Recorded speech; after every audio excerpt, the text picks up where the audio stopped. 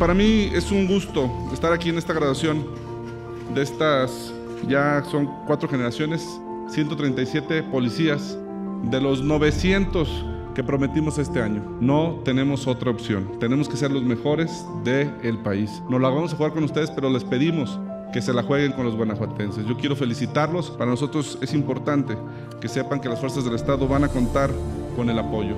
Y, por supuesto, que las fuerzas del Estado van a tener el respaldo cuando se enfrentan a los criminales. Graduados, protestan ustedes guardar y hacer guardar la constitución política de los Estados Unidos mexicanos, la particular del Estado de Guanajuato, así como las demás disposiciones legales que de ellas se emanen, y desempeñar con lealtad y patriotismo el cargo de policía que en este momento se les confiere? ¡Sí! Si así lo hicieren, que el Estado y la sociedad los premien, y si no, que se los demande. Fuerzas de seguridad del Estado.